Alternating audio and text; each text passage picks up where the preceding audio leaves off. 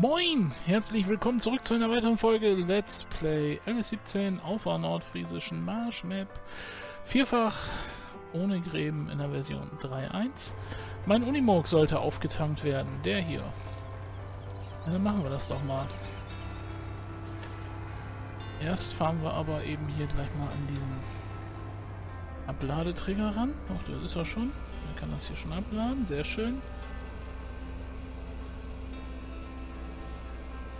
Haben wir zumindest schon mal ein bisschen Kompost wieder, wenn auch nicht viel.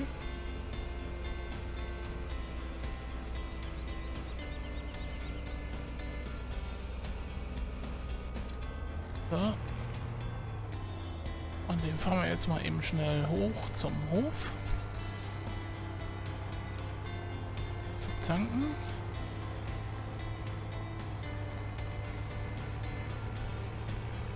Nämlich nur noch 25 Liter. Und dann kümmern wir uns gleich mal darum, dass ein bisschen Milch zur Molkerei kommt.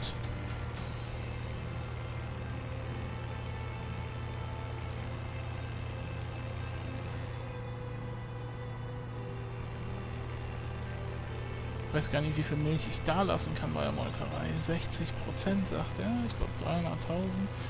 Naja, schauen wir gleich mal.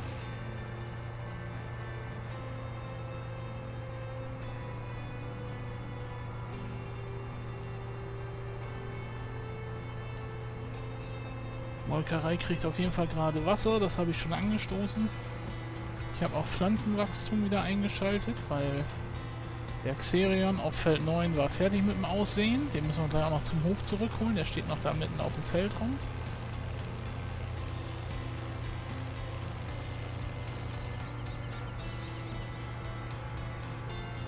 Ja, Unimogs sind geil. Unimog und MB-Trag cool. Alles nicht mehr so zeitgemäß, aber cool. Kultige Fahrzeuge, muss ich wohl sagen.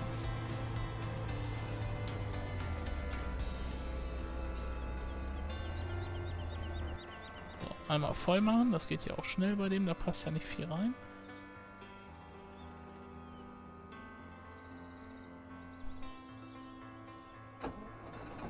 Und wieder ab vom Acker.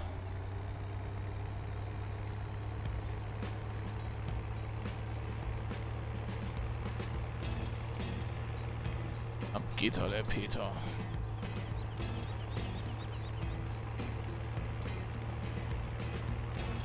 Ja, meinen Hofladen kann ich auch bald zumachen. Nein, vielleicht bringe ich da nochmal Ladungen hin. Schadet ja nicht. Habt ihr das Wochenende eigentlich gut überstanden? Ich hoffe doch doch heute Montag, oder? Ich bin jetzt ein bisschen durcheinander, in welcher Folge der Aufnahmesession ich gerade bin. Nein, es ist Montag. Letzte Folge dieser Session, denke ich mal. Vielleicht fange ich dann tatsächlich zwischendurch mal an, Livestreams zu machen. Wobei das natürlich dann völlig aus dem Zusammenhang gerissen ist. Aber irgendwie die Folgen, die ich so produziere, das äh, teilweise, je nachdem wie mein Zeitplan aussieht, ist das völlig okay. Dann habe ich echt nicht, ich will nicht sagen Stress, aber dann äh, habe ich schon gut zu tun, alles so hinzukriegen, dass ich meinen Zeitplan einhalten kann. Aber manchmal ist es eben auch so, dass ich zeitlich einfach noch, dass ich, dass ich ja, noch freie Zeit habe und dann eigentlich gerne noch, noch spielen würde und das aber eigentlich gar nicht kann. Ja, kann schon, aber dann bin ich nachher so weit im Voraus, habe ich so viel vorproduziert, dass ich dann auf aktuelle Änderungen und so gar nicht mehr, gar nicht mehr eingehen kann. So, das haben wir gemacht.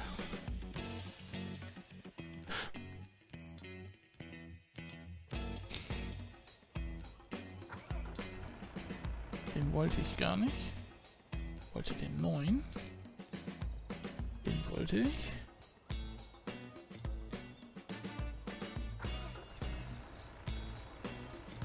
Wollte den abkoppeln. Wollte mir das Fortuna-Fass besorgen.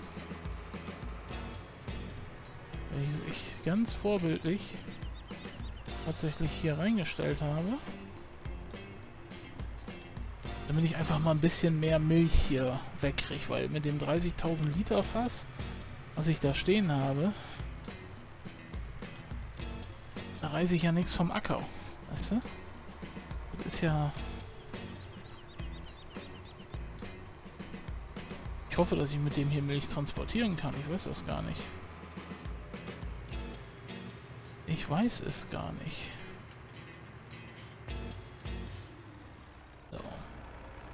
Du musst erstmal da weg.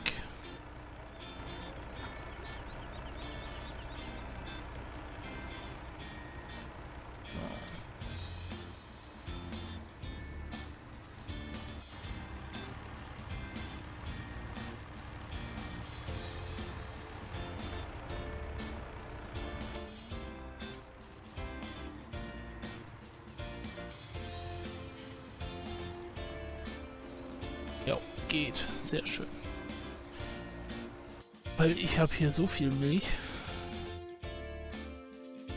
Ich habe über 400.000 Liter Milch da. Das finde ich schon ganz schön krass.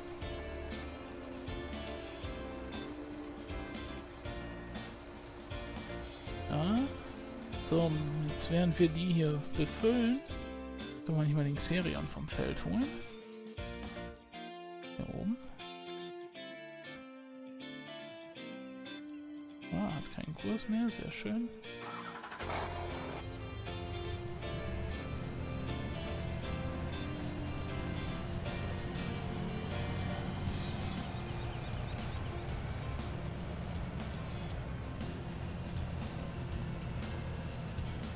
Und ab nach Hause.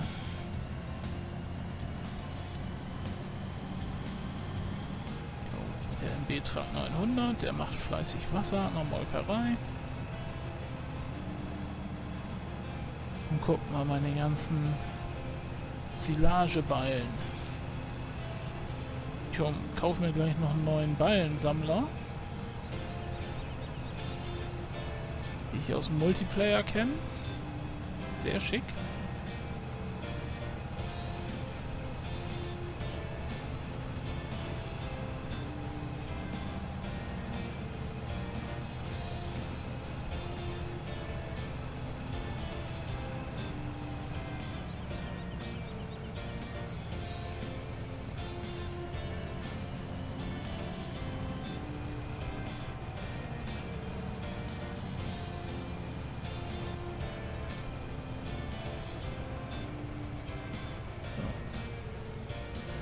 Sauber machen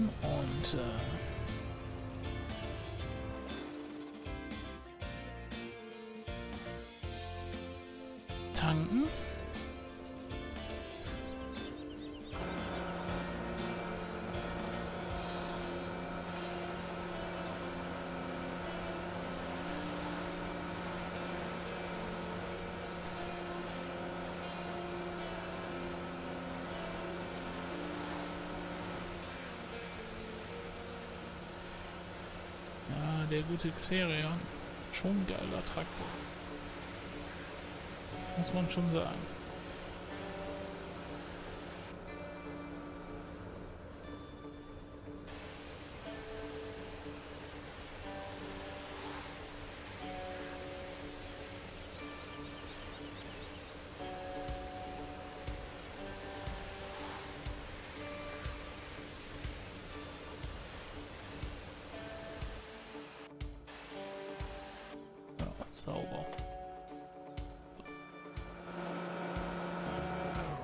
Sollte aber auch...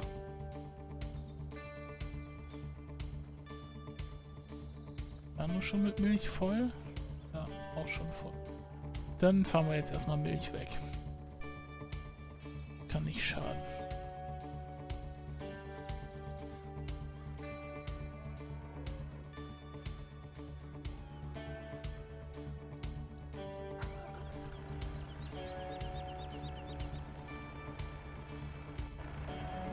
Me. Was bloß gleich ganz wichtig ist, ist die Tatsache, aber ist der Fakt, dass wir ähm, erstmal den 100.000er leer machen. Weil ich nämlich nicht weiß, wie viel ich genau loswerde. Und ich will mir das Fortuna-Fass jetzt nicht dann noch mit irgendwie 20.000 Liter Milch oder so blockieren. Ich hätte gerne, dass das zuerst leer ist und dann kommt der hier leer.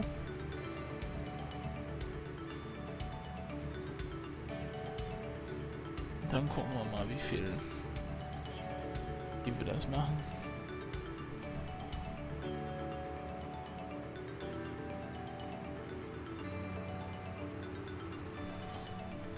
Dass uns da der... Ey!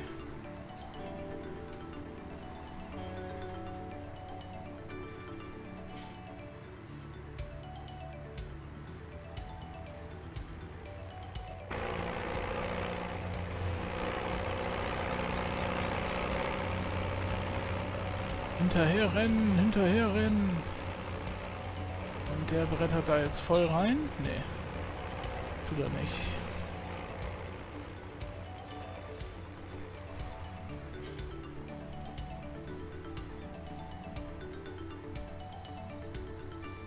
Erstmal machen wir jetzt die 100.000 Milch leer. Ist auch ein bisschen übertrieben, ne? 100.000 Liter. Aber. Ich will nichts sagen.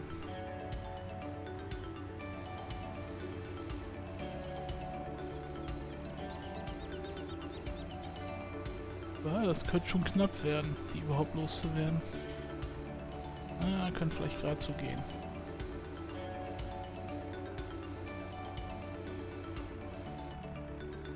Naja, gut. Wie viel ist das? 281.250. Aber gut, dass ich es so rum gemacht habe. Andersrum hätte es nicht gepasst.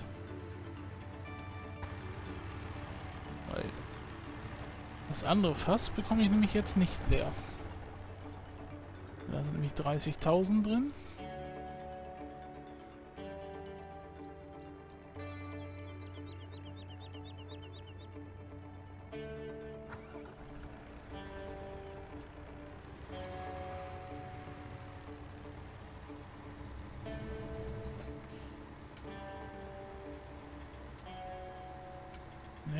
Hier erstmal da genug zu tun, aufzutanken.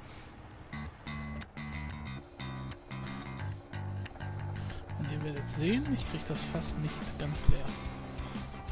Habe ich ja gesagt. Ja, dann lassen wir den da erstmal hier stehen. Wunderbar. Ähm, was wollten wir machen? Waren wir bei?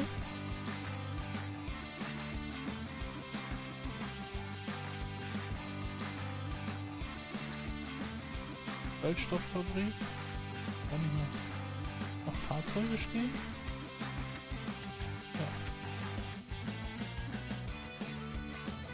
So, dann habe ich nur zwei Anhänger stehen, alles klar. Sehr gut. Besuchen wir mal. Gucken wir mal, wie es da aussieht. Mit der Produktion. Ich habe ja, die, habe ja alles auf einfach stehen. Von Zeit her. Das wirkt sich natürlich auch auf meine Produktionen aus dass das hier natürlich nicht so rasend schnell alles läuft. Macht aber ja auch nichts. Jetzt sonst ja niemand.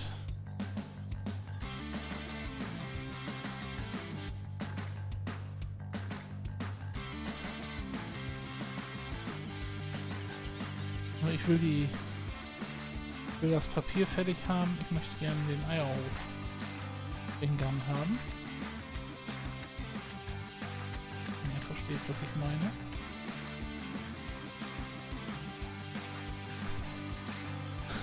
Wunderbar.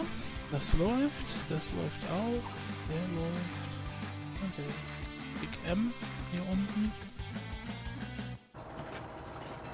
Ist beim zweiten Vorgewende bei. Ja. Gut, was machen wir? Wir kaufen uns einen Ballensammelwagen zwar aus dem Fliegelpack. Schauen wir uns einmal den Emma an.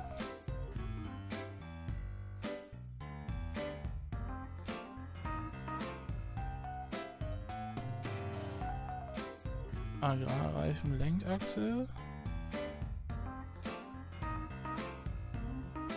Design. Universal Autoload. Aufbau Standard. Abstreifkante nein. Holz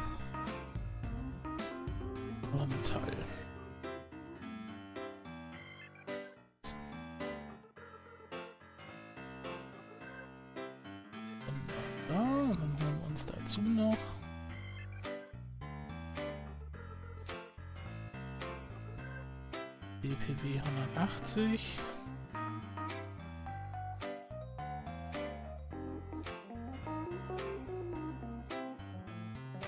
Das hatte ich als Felgenfarbe, Rad-Setup.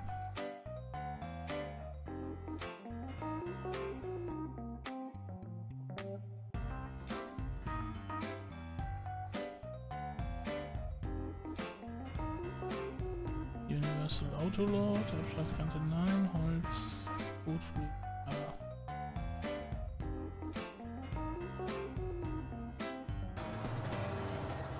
So. Da steht er. Der Gute.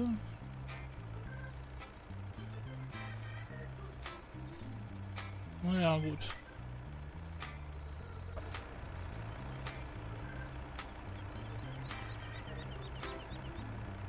Egal.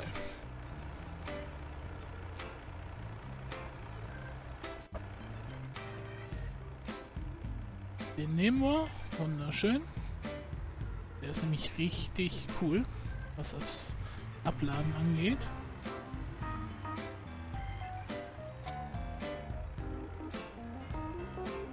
So, und jetzt müssen wir erstmal... Quatsch. Was natürlich ein bisschen schade ist, dass diese ganze Tastenbelegung nicht mehr so ist, wie ich sie kenne. Und bei ja, Ultima 1.50 dass er alles laden kann.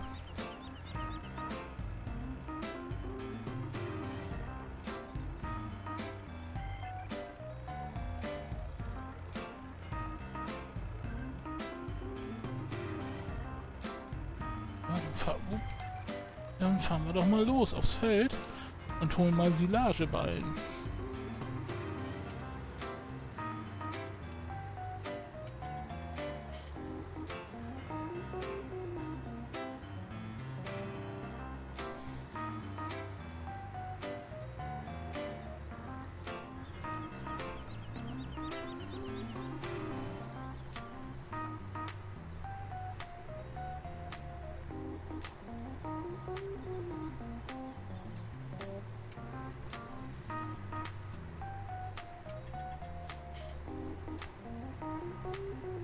Das nicht gut geht... Ich meine, gut, das ist jetzt ein Autoload, das können andere auch. Das ist gar kein Thema.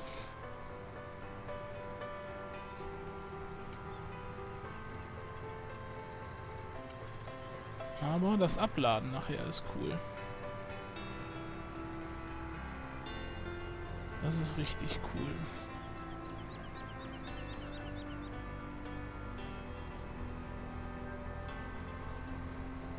Voll. Hinten.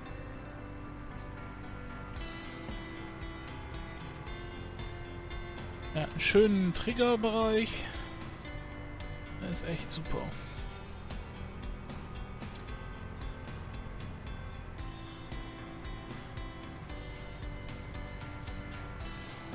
Ich glaube, davon gibt es ja auch äh, für einen IT-Runner, diese für den Hakenlift, gibt es ja auch so eine Plattform. Ich habe zwar vier Stück, aber die hier sind, glaube ich, ein Stück cooler.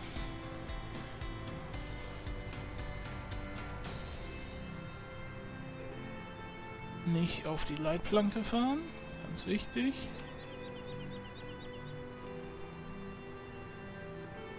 So, den Grasball, den wollen wir da mal liegen lassen. Der interessiert uns jetzt mal nicht.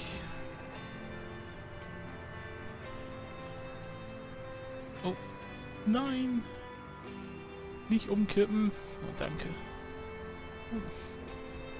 Knapp so, zwei Ballen noch.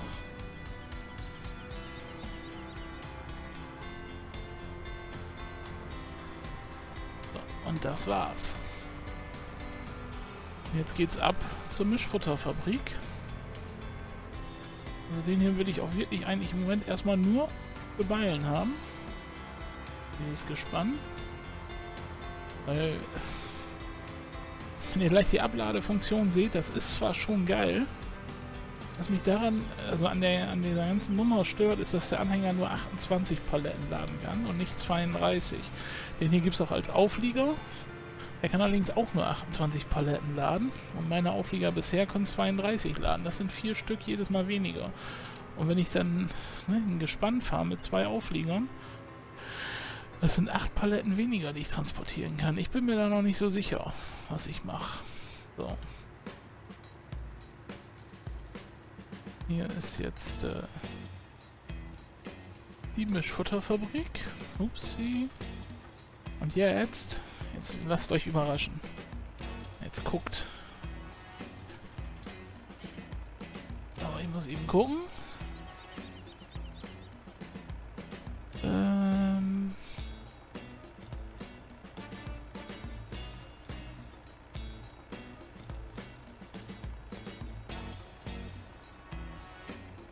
Das nicht? Aha.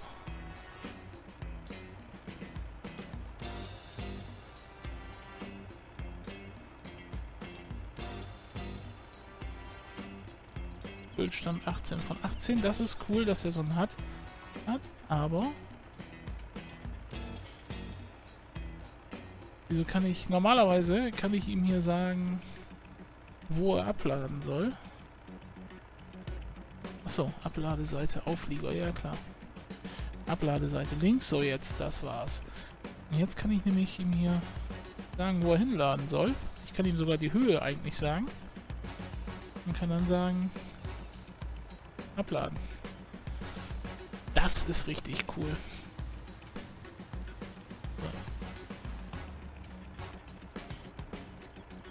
Und dann kann ich ihm hier nämlich auch wieder sagen, ja, da weiter rüber. Das waren nur zwei Stück nicht.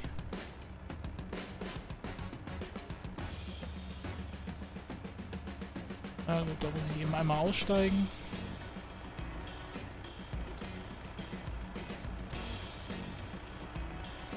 Naja gut, drei Stück hat er nicht.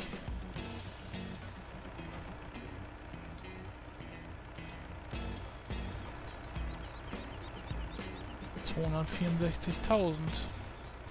Das ist nicht so schlecht. Achso, ich wollte gucken, wie hier allgemein der Stand ist. Ich meine, dass er dann, dass er kein Gras hat, weiß ich ja, sehe ich ja. Achso, doof. Ja, 40 Prozent.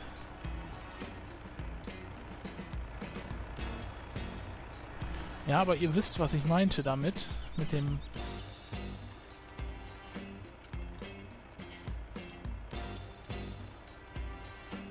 Zack schon geil. Also wirklich.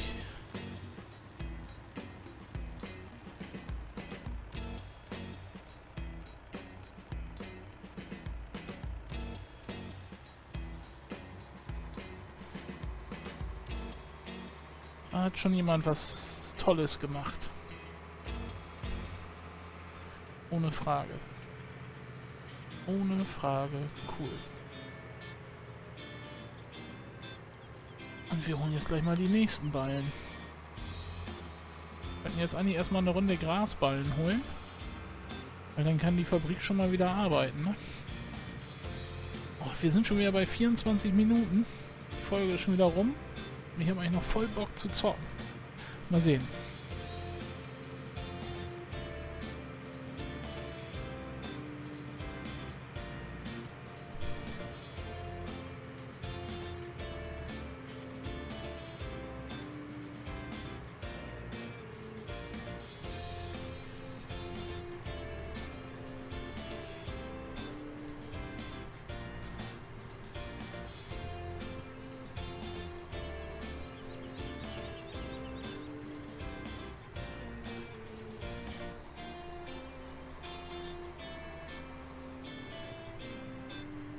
Oh.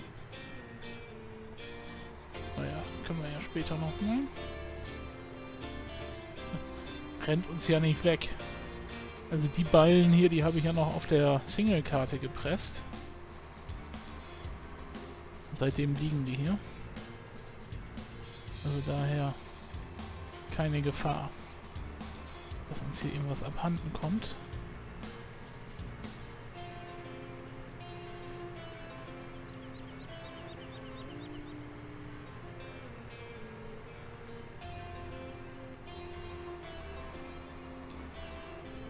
Hier habe ich gar nicht so viele auf diesem Feld. Ne? Naja, vielleicht kriege ich ja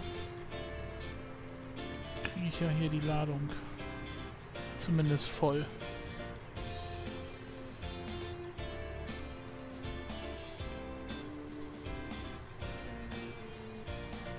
Na, 26 Stück liegen hier aber nicht mehr. Denke ich.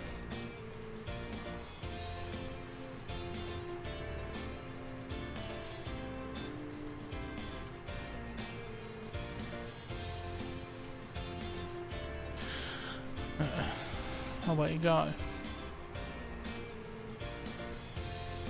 Kann ich trotzdem schön...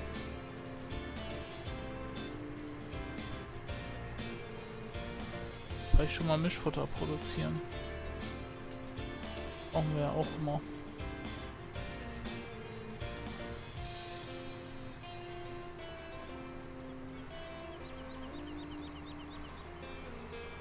Letzten drei.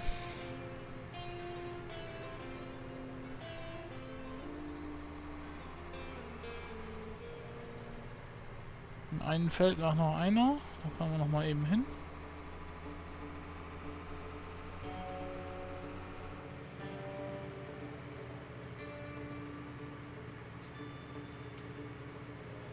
Da liegt ja auch noch einer. Katastrophe. Wie habe ich das denn nicht vorher gesehen? Gibt's ja gar nicht.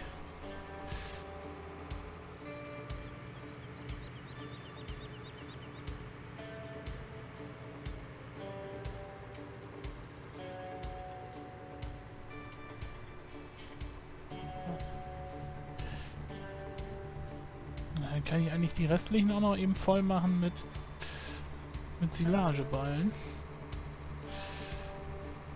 Muss ja eh alles dann dahin. Wo wir schon mal da sind, bleiben wir dann gleich hier, ne?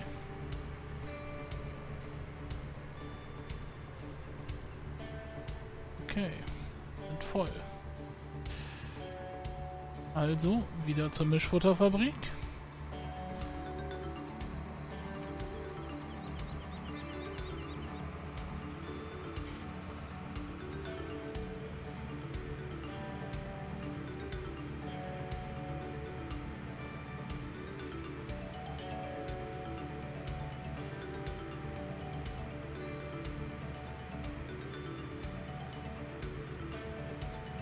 Mal fein säuberlich alles abladen.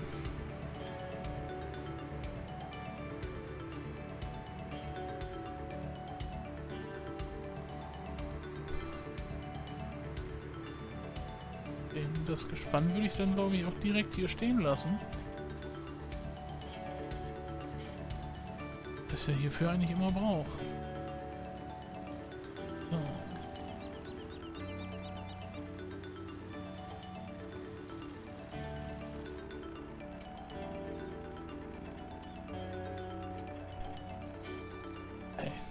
So geil.